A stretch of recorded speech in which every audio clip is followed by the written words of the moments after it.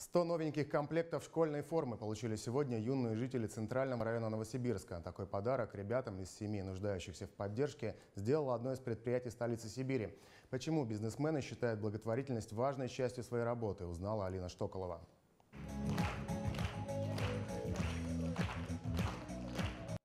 Сарафаны, юбки и блузки девчонкам, жилеты, брюки и сорочки мальчишкам. И, конечно, специальные мешочки для сменки. Все это дети получили совершенно бесплатно. Сотню комплектов школьной одежды подарили ребятам из многодетных и нуждающихся в поддержке семей. Вы знаете, для бюджета нашей семьи это весомый вклад. У меня шесть ребятишек и трое школьников. Допустим, первоклассник, то в общей сумме это выходит больше 30 тысяч. То есть, ну, если школьники постарше, то ну, тысяч 15 выходит может и больше. Только в этом зале собрались 33 семьи, в которых воспитывают от 5 до 8 детей. Для каждой из них сборы в школу – это огромные расходы. Помимо одежды нужны и ранцы, и канцелярия.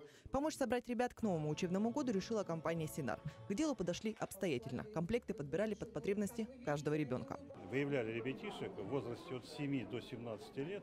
Они, на самом деле, прошли все примерку, то есть э, занимался комплексный центр социального обслуживания населения у нас.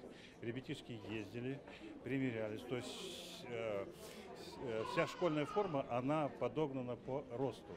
Делать добро и делиться тем, что имеешь, очень важно, считают в сценарии. И помощь конкретным людям – совершенно особенное направление благотворительности. Счастливые глаза детей и их родителей – лучшая награда. Есть такое хорошее понятие – социальная ответственность бизнеса. Мы, например, понимаем прекрасно, что сегодня обстановка, 5 лет кризис, и падает реальная заработная плата. И, к большому сожалению, таких семей у нас очень много.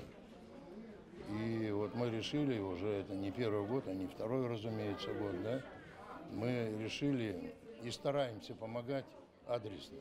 В Синаре надеются, что их примеру последуют и другие предприниматели. Ведь 1 сентября уже совсем скоро, а в городе еще много детей, которым очень нужна помощь.